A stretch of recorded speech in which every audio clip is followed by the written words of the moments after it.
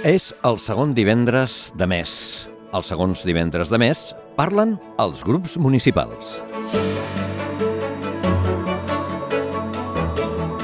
Aquesta primera edició, Parlen els grups municipals, vol ser un espai d'entrevista dels diferents portaveus dels grups polítics representats a l'Ajuntament de Premià de Mar. Serà, com dèiem, el segon divendres de cada mes de les 12 a la 1 del migdia.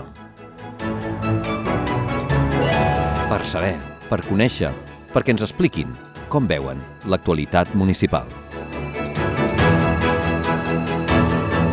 Avui, i estrenant, parlem amb Helena Martín, de Premià en Comú Podem, des dels nous estudis de Ràdio Premià de Mar al carrer nord de l'edifici de Cal Escoda.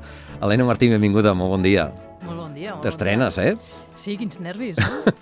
Una bona estrena. És, és bo, eh, que el, els que us han cedit el poder perquè els representeu, els hi podeu explicar coses, eh, que és, una, és fantàstic, no? sí, tant, sí, sí, sí. Posa Jo- nerviosa, però... Posa sí, nerviosa? Sí. Home, sí, clar. Però tu portes ja molts anys per, per, eh, treballant pels altres o treballant en els grups municipals, no? Sí, I encara, encara tens aquests nervis? uf, moltíssim. Sí? Moltíssim, sí. Jo no sé, és, és una de les coses que, mm, que no sé com l'aguanto, la veritat. Que és la- A vegades m'ho pre- m'ho pregunto, eh, perquè no m'agrada gens parlar en públic.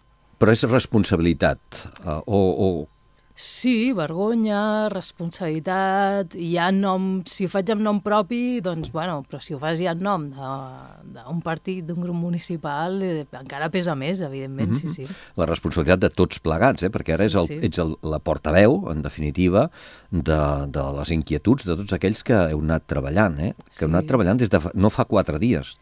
No fa quatre dies. I la veritat és que això també és una de les coses que em dona molta seguretat i és el que deies tu, tots plegats. Jo sé que, mm, que tinc molta gent. Tinc molta gent que el dia a dia m'acompanya, que el dia a dia m'ajuda, que el dia a dia em fa suport, que el dia a dia està allà amb nosaltres, amb la Loles i amb mi, amb el grup municipal. I, i bueno, això és una de les coses que eh, ajuda a mantenir-se. Jo recordo una entrevista electoral que vam fer abans de les eleccions del, del 2019, en la qual ens deia, esclar, nosaltres som hereus del SUC, després d'iniciativa, sí. i, i gairebé sempre, familiarment o d'alguna manera, he anat visquent tot aquest procés. No? Sí, sí, jo, si estic a comuns, és pel suc. Per mi, bueno, és les me la meva escola, no, no política, sinó la meva escola de vida. Jo ho, ho, sento, ho sento així. I el suc, el suc de, de Santa Coloma Gramenet, el suc que, per exemple, aquests dies no, està... Uh, doncs és un tema molt, molt candent, no? De, el suc que va reivindicar el català per les classes populars, per la gent eh, que venien del sud d'Espanya, i aquest suc va, va aconseguir doncs, la, la primera escola en català a Santa Coloma, escola a la que jo vaig tinc l'honor d'haver d'haver estudiat, i és del que, bueno, és el que em fa ser El suc aquí. del Guti, no? El suc El del, suc del Guti. del Guti d'aquí d'aquí Sí. Premià de Mar, eh, l'inventor del collal, no? Diguéssim. Sí, sí. El coll signe que va ser la, la, la postura en el primer govern Tarradellas que els va dir, escolteu, encara que no sigui un govern, com a mínim que us sembli, poseu-vos corbata. I ell va posar-se, va fer la concessió aquesta, eh, de Sí. posar-se al collal. Uh, és molt temps i, per tant, hi ha moltes il·lusions, no? Uh, il·lusions frustrades, il·lusions aconseguides, il·lusions que s'han anat uh, matitzant. Doncs aquest és un camí sempre complex, no? Eh, però jo crec que, evidentment, si seguim aquí és perquè l'esperança no l'hem perdut i perquè els ideals no, no els hem perdut.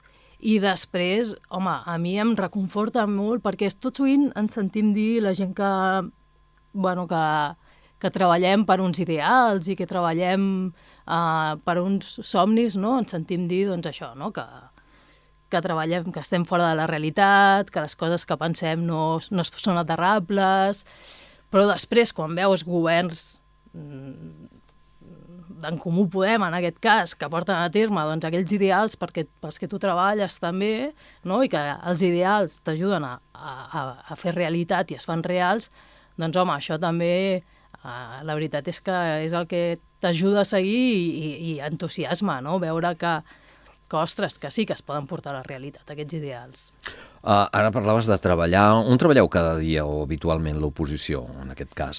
Que esteu exercint, en aquest cas, l'oposició uh, al, al govern establert, diguéssim, de, de L'oposició treballem des d'on podem i quan podem, perquè tots tenim altres aquí, feines. Aquí a l'Escoda?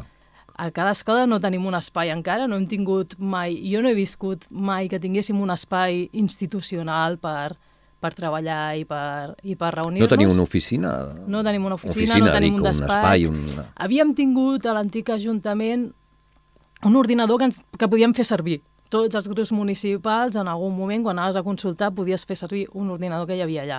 Però ara mm, no se'ns ha ofert. Uh, ho demaneu? O, o... Ho hem demanat, ho hem ho demanat diverses vegades, sí, perquè és un, una qüestió necessària per reunir-te, també per rebre depèn quines persones, per poder conèixer la casa has d'estar també, no? I això és una dificultat. La, la distància física també és una dificultat per, per regidors que, que porten menys temps. I sí que ho anem demanant, però encara no s'ha fet realitat. Doncs portem encara no 10 minuts d'entrevista. Primera reivindicació, locals, locals per als grups municipals. Eh? Si parlen els grups municipals, eh, demaneu també un espai per poder treballar eh, a l'edifici municipal, a unes instal·lacions públiques, sí? Sí, diuen que potser a l'antic Ajuntament algun dia es farà realitat. Però bueno, quan dius que... algun dia, uh, no, què vol dir això? Jo no et, sé, no et sé aproximar més la data. O sigui, que aquesta és la, el que us van dir, algun dia. Algun dia. Algun dia. No, no tenim no més té. precisió més que, preci... que jo aquesta. Jo no soc capaç de dir-ne. Uh, a veure, tots els diferents grups municipals al llarg d'aquesta legislatura i les anteriors, però concretament en, en, en aquesta han fet canvis de, de regidors, mm -hmm. eh? uns que tenien feina, els altres que no sé què. Vosaltres també. Uh, Rafa Fernández ha donat pas a, a l'Ole Morillas. Uh, aquests canvis uh, van bé ajuden a canviar el... Sí, home, sobretot si es fan com els hem fet nosaltres, que es fan des, de, des del diàleg, des de la presa de, de decisió, evidentment, en aquest cas, doncs el Rafa té un pes rellevant en aquesta decisió, però és una decisió de, de, de grup. Uh, jo crec que és positiu, jo crec que el canvi, jo crec que és positiu que passi gent, que, que sigui una qüestió temporal, Uh, la gent, eh, sobretot això, com en el cas del Rafa també, el Rafa ha estat un temps al grup municipal, portava molt de temps de militància uh, i continua militant i continua uh, estant al dia a dia, tot i que no està en el grup municipal. Uh, I crec que és molt positiu això, no? que la gent tingui l'experiència de passar per, per aquesta aventura que és, que és la política municipal. I llavors, en aquest sentit, crec que sí que és positiu que hi hagin relleus i canvis. I que Però crema molt, això? O... Crema molt. Home, uh, sobretot el, el en treball... el seu cas no, perquè fa molt temps que... que... En el meu cas no, perquè sóc molt resistent. perquè és, això sí que és veritat que tinc bastanta resistència. Uh, crema, que és un... Jo crec que la part que més crema és que és un treball eh, molt invisible i, per tant, mm, molt poc reconegut i, evidentment, doncs, a tots ens agrada, no?, doncs, amb allò que dediquem moltes hores, doncs, bueno, que sigui visible, que se't pugui, com a mínim, reconèixer la, la, la tasca que fas. I el treball d'oposició és molt poc reconegut eh, i a vegades eh, costa molt que es materialitzi, perquè si hi ha no? A vegades, quan governen, diuen... I és veritat, no? Arribes a un govern i no pots fer-ho tot de cop, i els temps, i els límits... Doncs imagina't a l'oposició, no? Llavors això... Uh, són moltes hores de dedicació, a vegades per veure pocs fruits mm, grossos, diríem. Però llavors sistematitzant molt, eh? I a Què nivell, fem? A nivell, no, sí, a nivell, a nivell de gent del carrer ens diuen, escolta, no, n'hi ha uns que governen, els altres que diuen que estan en contra, no? Uh, llavors, això, a què, què, què, què fa, quina feina fa l'oposició? O en no. aquest cas el seu grup, eh? No, no, fem, cadascú fa... Sí, eh? cadascú fa el que pot. Uh -huh. uh, nosaltres el que intentem, nosaltres el que tenim és un programa electoral i al final el que intentem és que el nostre programa, les nostres propostes, estiguem a govern, evidentment que les portaríem a terme, però si no estem a govern intentem que s'aproximin o que vagin cap, a, cap allà. En aquest sentit, nosaltres tenim propostes i treballem cap a, cap a propostes doncs, uh, molt clares de model de ciutat, d'urbanisme, de pacificació, de biodiversitat, de sostenibilitat, de feminisme, i llavors, dia a dia, allà on podem, allà on se'ns deixa, allà on, on se'ns permet, doncs intentem portar aquestes propostes i que aquestes propostes es portin a, a la realitat. Intentem fer un control també de l'hora de govern, no? de què és el que està fent el govern, uh, i fer un control i un seguiment també de, del, del govern. Helena, uh, Anem a parlar de, o fer un repàs dels diferents aspectes de la població. Podem parlar d'ensenyament, de mobilitat, d'infraestructures, de política, de cultura, de societat, d'esports. Eh, expliquem una mica la, la realitat a l'avui, perquè eh, aquest punt genèric, de fet, ja l'hem enfocat. No? Anem a concretar, anem a posar el focus, i un dels focus més importants que tenim res, d'aquí pocs dies, serà en un plenari eh, debatre sobre els pressupostos. Els pressupostos és, diguem-ne, que la part més important de resolució de la gestió pública d'un espai de temps, eh? en aquest cas d'un any. I això és prou important perquè cada partida, cada acció que es vulgui fer ha de venir acompanyada d'una partida pressupostària. Això és prou important com perquè es discuteixin també aquests punts. La setmana passada us vam fer divendres passat, crec recordar, es va fer la, la presentació a tots els grups de la proposta que feia el govern. Mhm. -huh. Què n'heu de dir d'aquests pressupostos? D'aquests pressupostos, bueno, eh, hem de dir que són uns pressupostos amb, amb poques variacions als pressupostos que hem tingut darrerament a, a premiar. No hi ha uh, grans diferències. Uh, nosaltres um, creiem que Premià necessita uh, un canvi de model de, de ciutat uh, doncs com a una ciutat cap a on estan caminant les ciutats actualment, no? I, i, i les ciutats estan caminant cap actualment i, per tant, podem posar exemples, però nosaltres aquest model de ciutat el defensem des de fa molt de temps.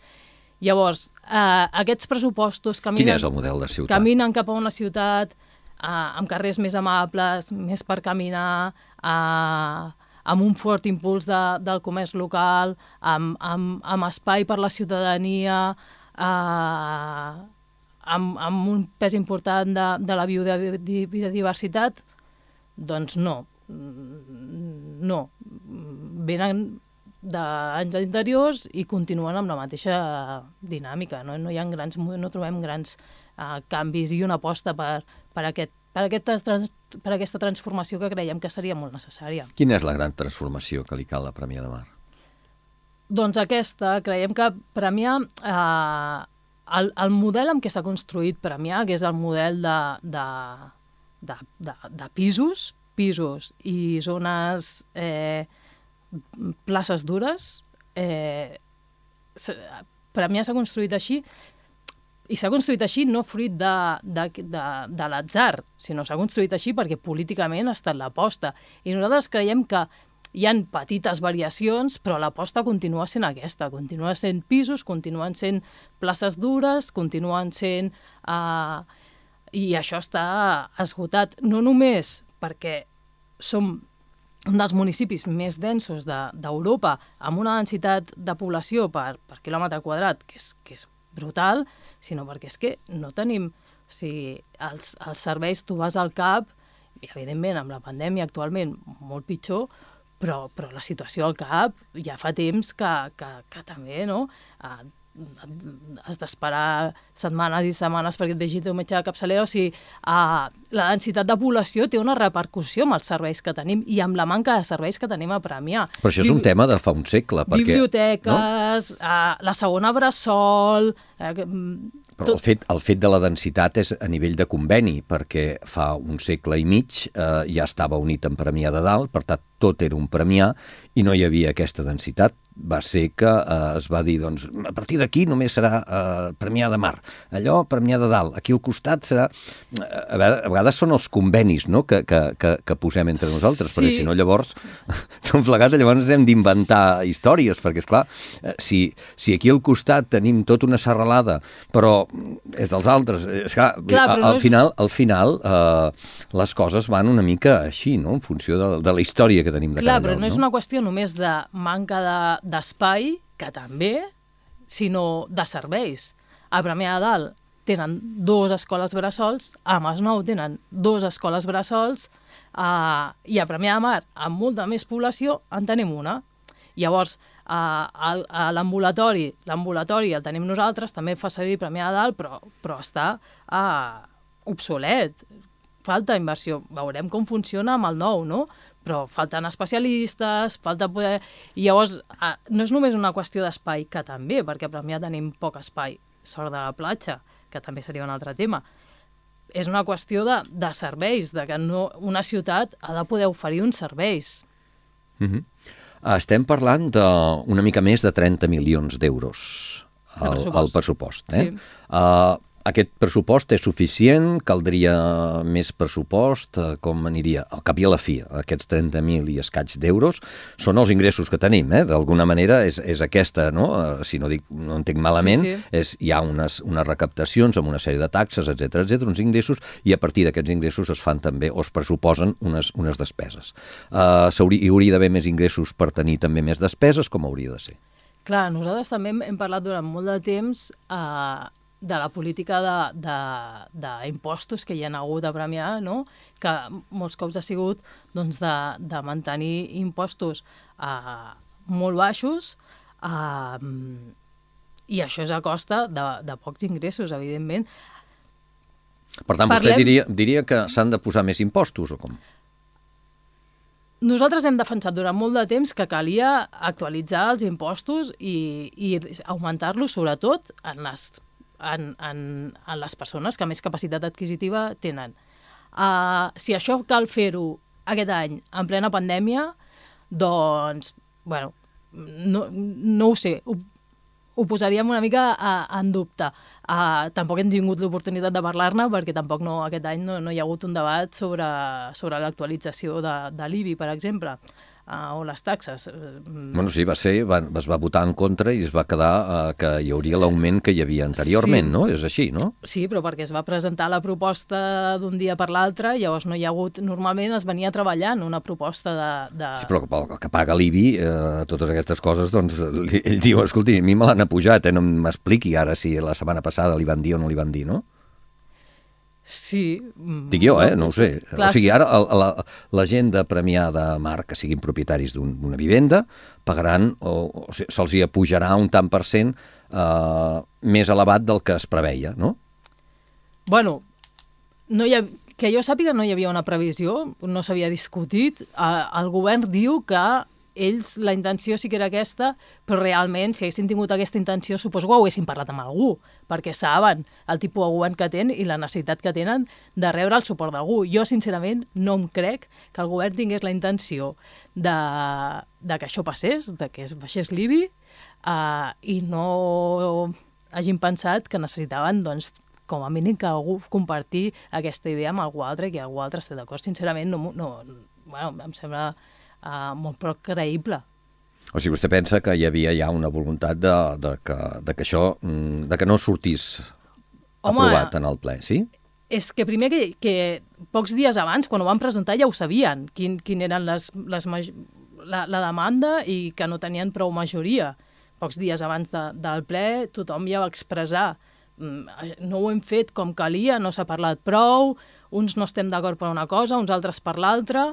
Uh, Malgrat això ho van mantenir al punt, perquè deien que era necessari mantenir-ho, amb el resultat evident que ja sabien que, per tant, doncs, l'IBI es manté amb la pujada anterior. Eh? Per tant, hi ha aquesta, aquesta pujada que sí. hi havia eh, anteriorment.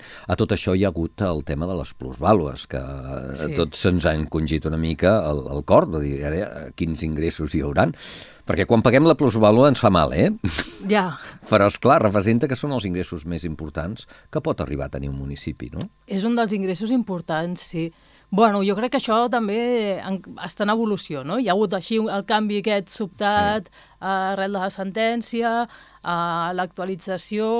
Bueno, jo crec que hi, ha, que hi haurà una evolució i veurem com, com acaba. No? Però que això també de tant en tant val la pena per refrescar a tota la gent, no? que, que quan ens fa mal eh, per, per, per, en aquesta compra i venda, quan et diuen lo de la plusvàlua, eh, que quedes una mica així com a quadros, representa que és l'ingrés més important per fer la, perquè les ciutats funcionin, no?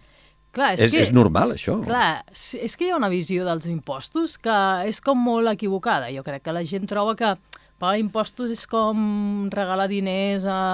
Una penyora, és. A no sé, a no sé qui, i en realitat doncs, bueno, veiem, no?, la sanitat quan necessària és, l'educació quan necessària és, eh, els carrers quan necessaris són, no? I, i, I al final, vull dir, això eh, ho hem de pagar entre tots i, evidentment, qui més té ha de pagar més. I després hi ha una responsabilitat també eh, cívica de que si algú està passant malament, entre tots hi podem fer suport. I crec que això també no? és un altre uh, servei que les ciutats hem de donar. Per tant, els impostos uh, són absolutament necessaris. Ara estava parlant vostè d'un moment excepcional, eh? estem parlant d'una pandèmia, no sé si ara és el moment com per considerar l'augment d'impostos, etc etc. Uh, és també el moment excepcional, com diu algun grup, perquè puguin aprovar o que hi hagi una porta oberta a aprovar els pressupostos? Doncs no ho sé, es fa difícil. Uh, L'altre dia escoltava la tertúlia que dedicava a aquest tema i crec que hi havia una, un, un clam unànime també de, de falta de treball conjunt. Vull dir, si realment hi ha una voluntat de, no, de que empenyem tots a una, uh, això no es fa en 15 dies. Sí, però jo eh, en aquell mateix lloc, no, els deia aquesta, que estem veient doncs, a nivell d'altres institucions, a nivell, a nivell d'institucions estatals, autonòmiques, etc, que de vegades s'aproven de cuita corrents, no? Per exemple, vostès de seguida es van posicionar, el seu grup, eh? En refereixo als comuns, de dir, sí, sí. doncs si la CUP no, no els vota, ja els votaré jo. Uh, I amb uh, Joan Carles Gallego, amb un parell de nits, ho van, ho van tenir enllestit, això. Bueno, la veritat no sé com funcionen les negociacions a, a l'alt nivell no? del, del que em parles. Ho dic jo... perquè, no, una, una mica allò, eh? la, la idea que en podem arri arribar a tenir tots nosaltres, eh? que si és d'una altra manera això, doncs vostè ens ho pot explicar, no? Sí, sí, jo, jo entenc, no, jo no, no, no, no sé com funciona en aquest nivell, jo crec que tampoc les coses no es fan d'un dia per l'altre i suposo que abans hi ha, hi ha una aproximació que que no ens assabentem, i suposo que ja ha de ser així perquè poder, podia arribar no?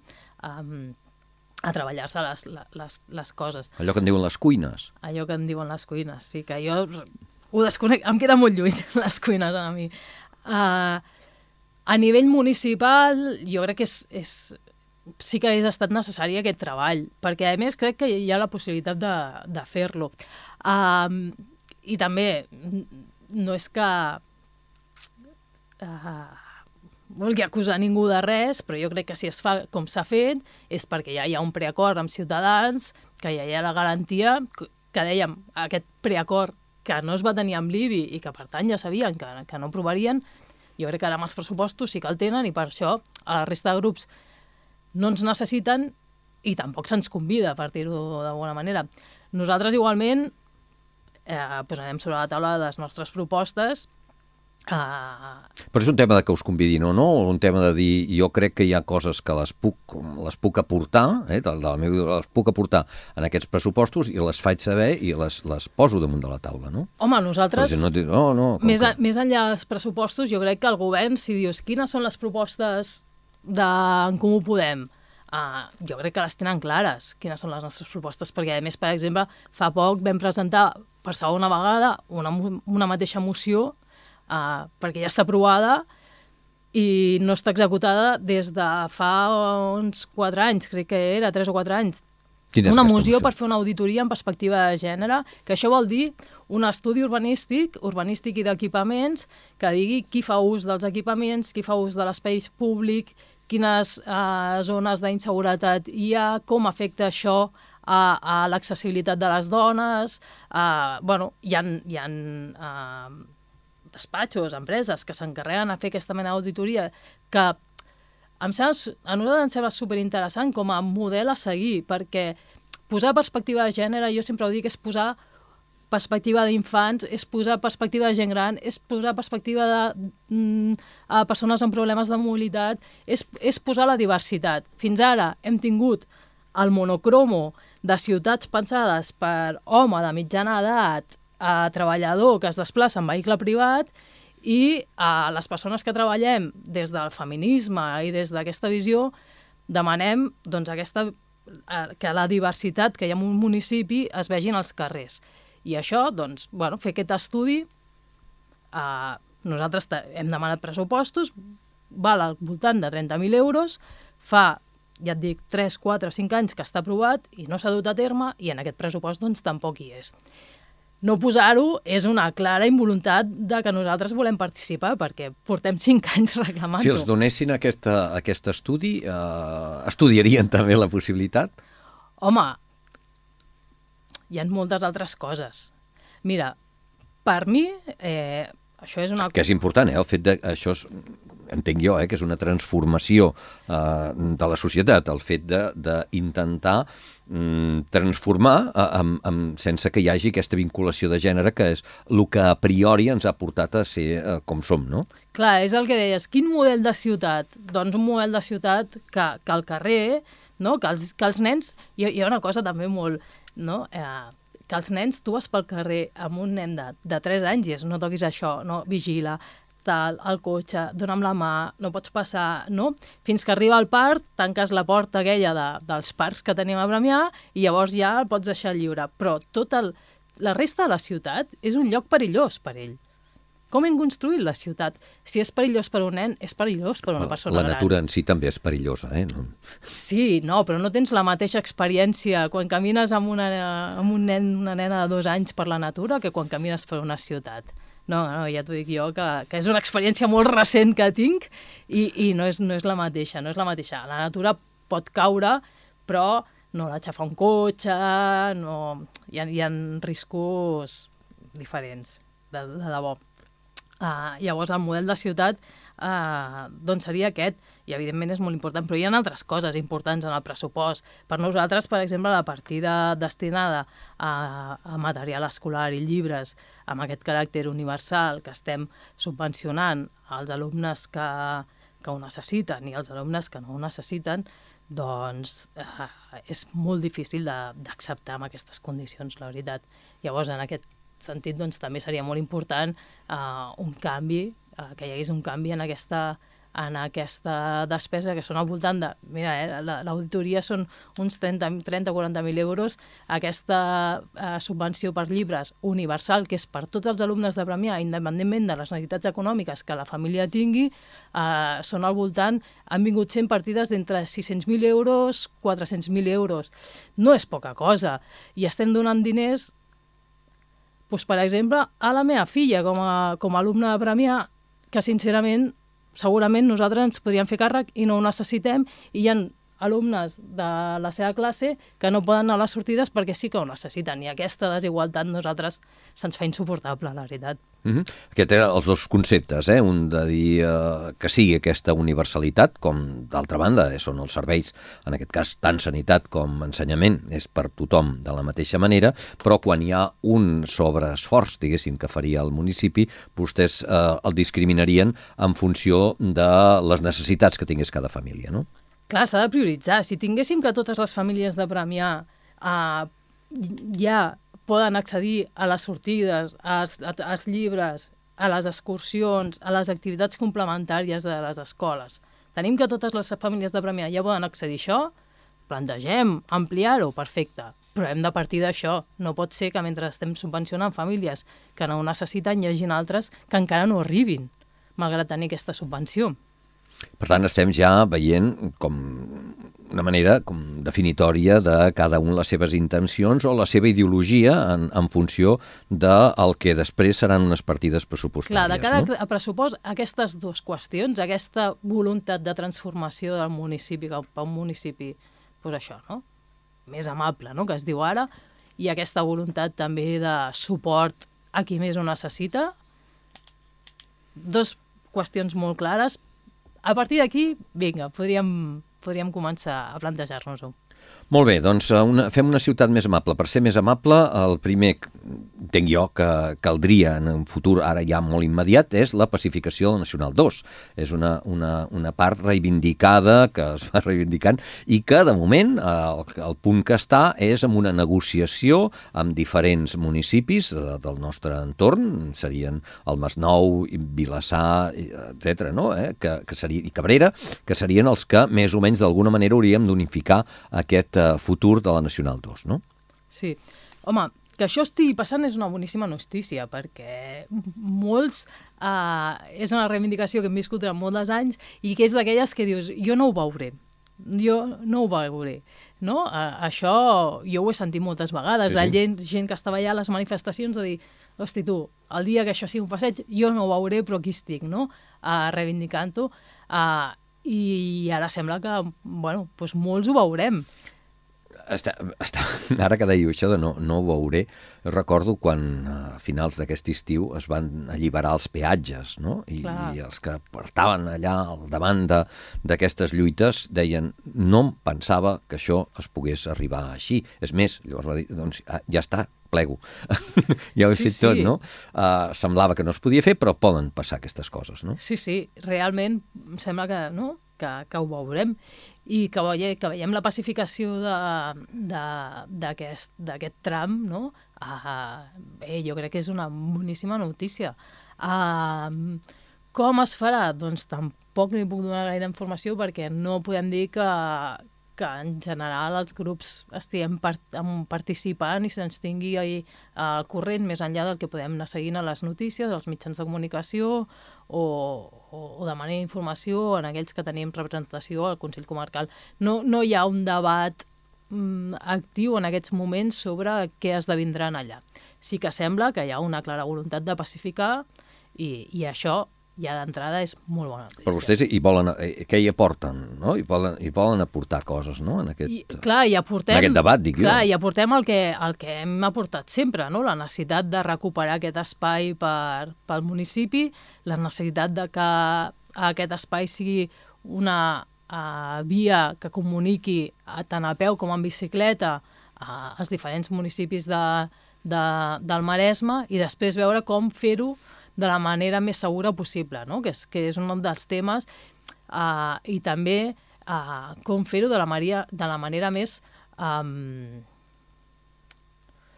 sostenible, que realment guanyem espais de zones verdes, que no sigui eh, no? Un, un espai doncs, d'asfalt, no? bueno, al, fi, al final són les mateixes propostes que tenim per dins del municipi, no, no hi ha no? l'orientació és la mateixa. Mm -hmm. Cap i a la fi, al cap i a la fi, això seria la, el vehicle, eh? la, la manera en què ens interrelacionem amb el Maresme i en aquesta, en aquesta primera corona, però també amb, la, amb el nucli, no? que seria Barcelona, en aquest cas, eh? la metròpoli. No?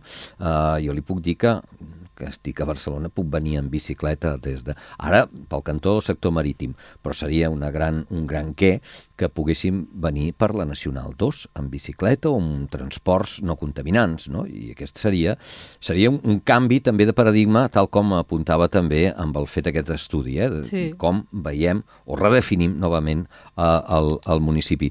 Parlem també d'aquests canvis viaris a, a Ponent. Eh, comporta beneficis? Eh, què en pensa d'aquest nou, nou sistema circulatori de, de Premià de Mar? Eh, L'altre dia volíem parlar-ho a la tertúlia, no vam tenir temps, perquè ens vam, ens vam encallar amb els pressupostos. Clar. Uh, D'entrada, uh, crec que cal, caldrà... Nosaltres tampoc hem pogut... És una mica l'esquema que vostè deia, això, de dir, doncs, el que fem és, és un sistema orbital, de dir-ho d'alguna manera, mm -hmm. i mhm. després ens queda el centre més alliberat per, per poder anar a peu o anar amb bicicleta o amb altres vehicles? Sí.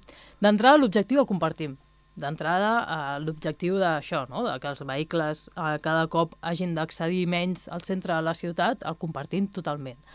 Eh, la resta no hem tingut gaires possibilitats, per no dir cap, de participar de, de, del projecte, eh, per tant, tampoc no, no el dominem, perquè no, no l'has treballat, és difícil que, que el dominis, i, i sí que crec que cal molt veure i estar molt atent a, a les necessitats que d'aquí sorgeixen i els canvis que es poden introduir. A, a Premià, a, a banda d'aquesta intenció de treure cotxes del centre, que ja dic que la compartim, crec que el següent pas ha de ser uh, la via ciclable, o sigui, el carril bici, uh, un carril bici segur... Uh... Un carril bici segur vol dir segregat. Sí. Vol dir segregat. Vol dir segregat. Sí, aquestes, aquestes, aquests carrils bicis que tenim a Premià, uh, que hi ha el dibuixet de la bici allà, i això vol dir que la bici té prioritat i que el cotxe t'ha d'esperar al darrere, jo que sóc, uh, vaig en bicicleta per Premià amb la meva filla al darrere, doncs perquè estàs molt conscienciada i dius, jo, és tinc, la... jo tinc prioritat, jo d'aquí no em moc. Per altra banda, perquè... és la fórmula que s'utilitza en molts carrers de Barcelona, també, aquest, eh? De sí, posar sí. el 30, vull dir.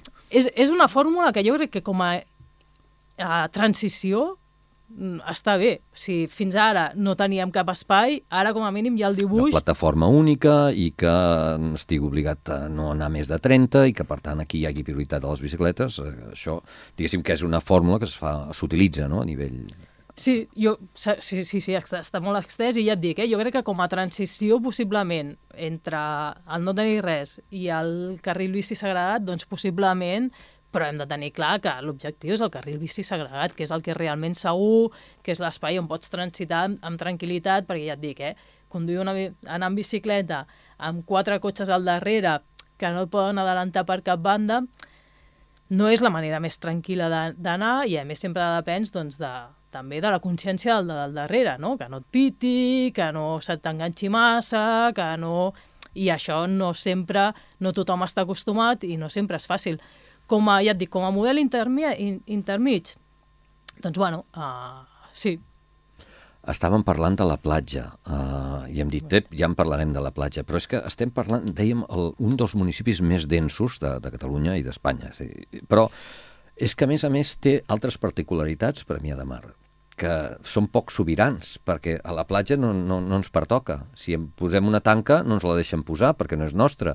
Si anem una mica més enllà, allò és de DIF o de Renfe. Uh, si anem una mica més enllà, la Nacional 2, ara uh, igual hi podem intervenir d'alguna manera, però tampoc hi podíem intervenir. Uh, als dos extrems teníem també unes carreteres que depenien de la Diputació. Eh, és complicat, això, eh? Sí, sí, sí. És complicat, però també és, és ric i, i és, és ric, vull dir, el fet de, de tenir aquest, aquest espai de la platja, no? Sí, sí. Que, que, que realment... Uh, jo crec que a Premià vivim molt d'esquena a la platja i, i, i fem servir la platja uh, només a la temporada d'estiu. I, I, ostres, és que com a municipi és l'espai uh, obert, més, més bueno, valuós que tenir, més que les potencialitats són increïbles, no?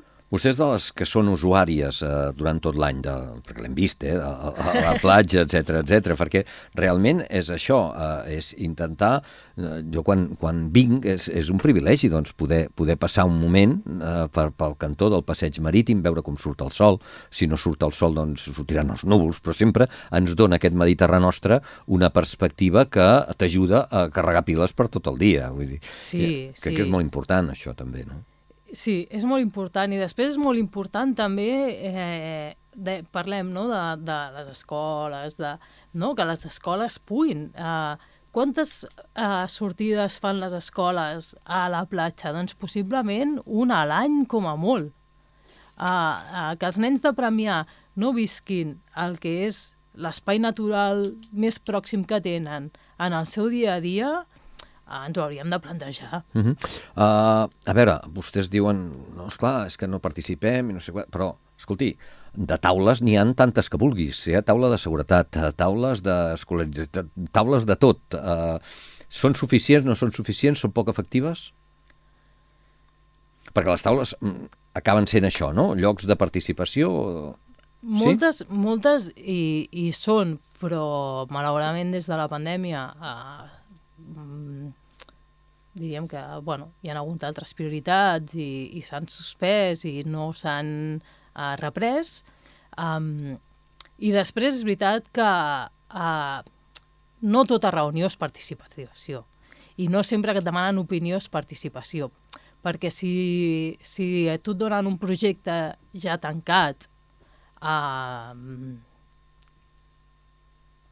que no hi ha cap voluntat de modificar-lo i que mm, o, o hi ha molt poc en voluntat de modificar-lo, difícilment se'n pot dir participació. I molts cops això és el que ens passa a les taules, que arribem, el govern eh, ha treballat una proposta eh, i tenim poc marge mm, d'aportar doncs, la, les nostres propostes. No? És més uh, un tràmit que una participació real.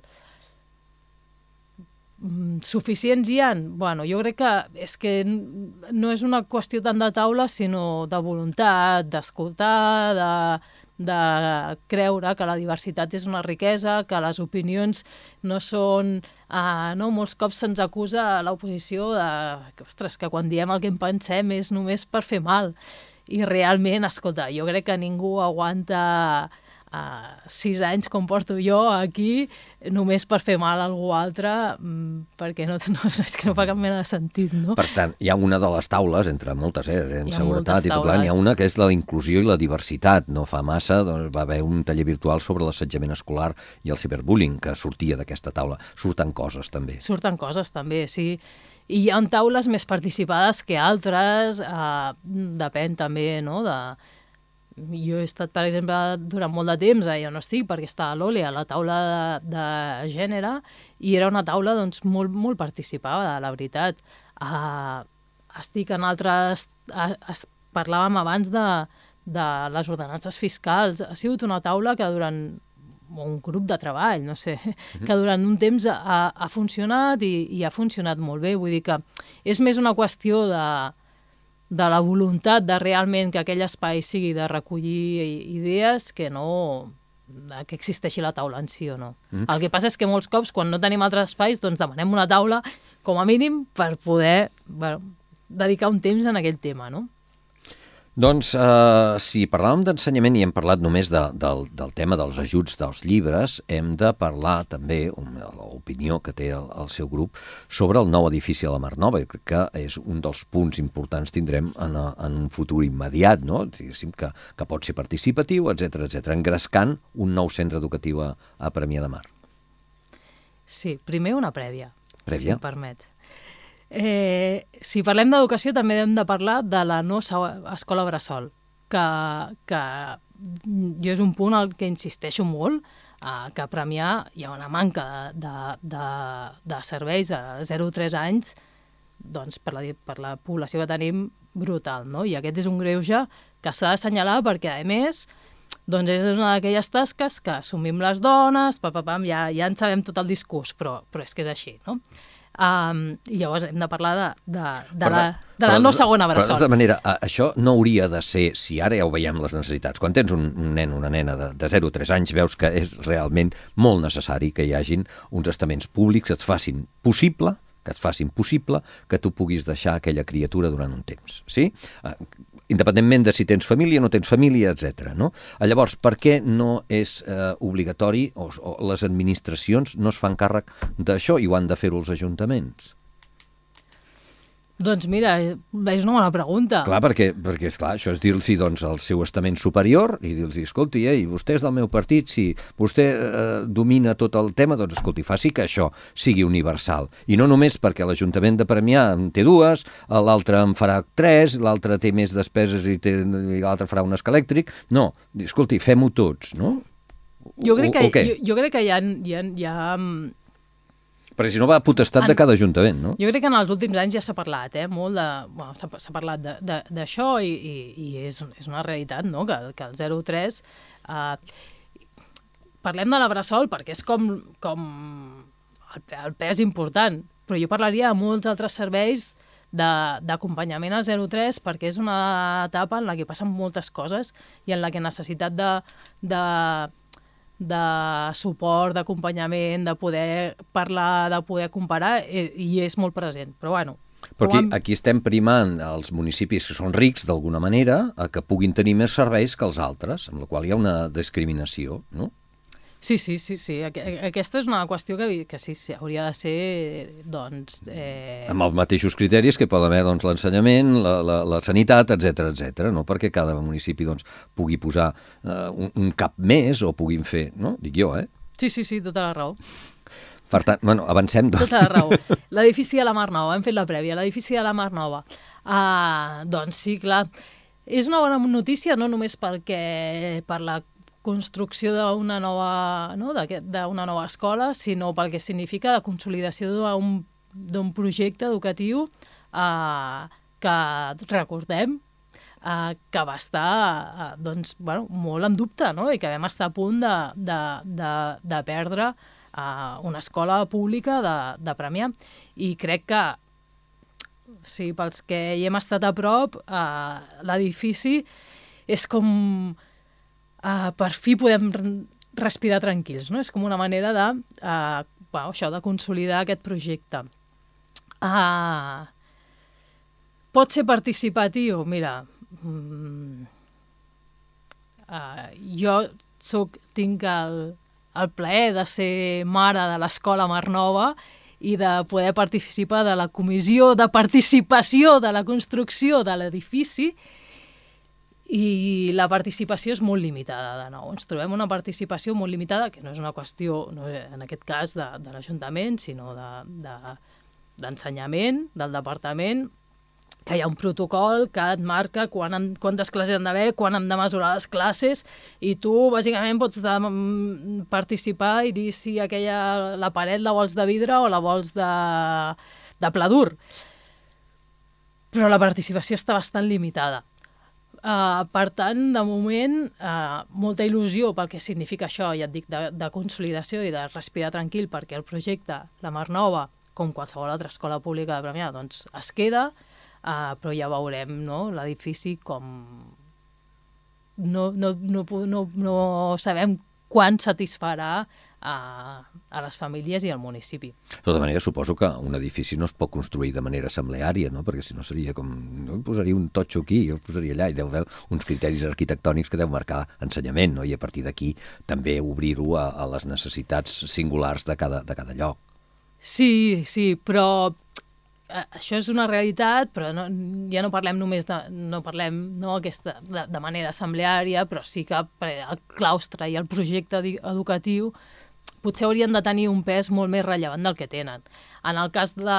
perquè la forma fa, fa la cosa, no?, també. I en el cas de, de l'educació, doncs, a veure, per un nen uh, de 3 anys és molt diferent entrar en una escola que és horitzontal, que veus totes les aules, que estàs en contacte amb la, tu, amb la sorra, eh, que hi ha elements naturals al teu voltant, eh, que no entrar dins d'un edifici de bloc de pisos com l'escola on jo vaig anar, a Santa Coloma de Gramenet, un bloc de pisos, i, i t'afores allà i no saps ni què hi ha al pis del damunt, no? Que aquesta és una experiència que a l'escola molts hem tingut, d'anar a una classe i fins que no passava el següent cicle no sabies ni què hi havia. Llavors la sensació de de ser petit... Bueno, en educació té la seva implicació, no?, a, a, a com és l'edifici. Helena, estem a, a 5 minuts per arribar al final, ja, eh? Uh, uh, I encara no hem parlat ni de cultura, no hem parlat de societat, no hem parlat d'esports, no hem parlat de moltes coses. Per tant, també la convidaré a que a les tertúlies, tot i que està molt ben representada amb el sí. Rafa Fernández, també de tant en tant pugui venir i que no es quedi només amb aquestes entrevistes que fem més llargues eh, excepcionalment. Però el dia a dia l'hem d'anar explicant, perquè si no, no tindria cap sentit, això. Clar, no, la nostra voluntat, ja ho anuncio, és que a les tertúlies puguem eh, representar també la diversitat del nostre grup municipal i, per tant, tots anirem uh, passant per allà, no patiu. Tots i totes, i en aquesta societat que va canviant, va canviant d'una manera doncs, uh, que fa, fa fredar, no? L'altre dia uh, ho fèiem en aquest congrés que vam fer a Premià de Mar, al Fòrum Premià Mèdia, per veure com evolucionaven els mitjans, que crec que és una de les maneres en les quals ens hem d'enfortir, perquè no fem altra cosa que intentar ser els mitjancers entre vosaltres, que treballeu diàriament i que us han votat perquè els representeu a tota la ciutadania de Premià de Mar i tot allò que està passant. Per tant, nosaltres simplement, com aquesta voluntat de servei públic, l'hem de fer el millor possible i l'hem d'optimitzar i, per tant, hem de treballar molt amb això. Han sortit unes dades d'audiència que ens ajuden a tirar endavant. Són 9.244 persones que ens escolten i això és prou important. Per tant, eh, hem d'anar treballant uns i altres. Amb quina voluntat? Doncs explicar a cadascú des de la seva, des de l'antagonisme, des de la eh, afectació, des de la divergència, totes les qüestions que ens afecten diàriament perquè en els municipis i la política municipal és això, és el dia a dia. I els veïns te'ls trobes cada dia, no? I Helena? tant. I sí, si no sí. ho fas bé, t'ho diuen, no? Sí, sí, tant. Aquesta és la riquesa de, de política municipal. I que aquests canvis tan ràpid no ens perdin del nostre centre, no? Crec que això és important. Hem d'evolucionar però mantenint les nostres arrels fermes, que, que això és el que ens, ens garanteixen arribar a bon port. Hem de mantenir aquesta, aquesta... Tot i que, és clar, estàvem ara parlant dels mitjans de comunicació i, per exemple, estem veient com canvien les coses, no? D'un quiosc que venia diaris, ara ven xurros. hem fet, fem aquests canvis un, un també, record per l'Osorio. Eh? que uh, ara cada cop menys tenen negoci els, els quioscs perquè cada cop més la, la virtualitat uh, passa per sobre de la presencialitat i en aquest cas també de tenir el, el diari imprès en paper sigui per una qüestió ecològica millor, no? Però, per altra banda, doncs, enyorem una mica aquest fet eh, que era gairebé com una petita litúrgia, no? Anar, anar al quiosc, comprar un diari, esmorzar amb el diari, mirar-se'l bé, llegir-lo, no? Això, això donava una mica de pau, també, no? Ens falta pau o què? Falta pau, falta pau. Falta aquest moment de... Uh, no? La gent ha de ser conscient que haver abandonat el diari vol dir uns mitjans, uh, doncs això, molt més ràpids, per tant, sense tanta reflexió i també eh, molts cops menys professionalitzats, no? I a vegades veiem notícies fetes des de fakes news, no? Però amb mitjans mm, de primera línia perquè no hi ha el suficient temps per contrastar la informació, per reflexionar, per veure d'on ve, i això ho hem de tenir molt clar, molt present. Temps per la reflexió, temps per pensar, sobretot eh, amb aquest dia a dia que cada cop sembla que estiguem més nerviosos i neguitosos. Avui no hem estat gens i ens ha confortat molt doncs, estar amb l'Helena Martín. Moltíssimes gràcies, molt bon dia. A vosaltres, fins aviat.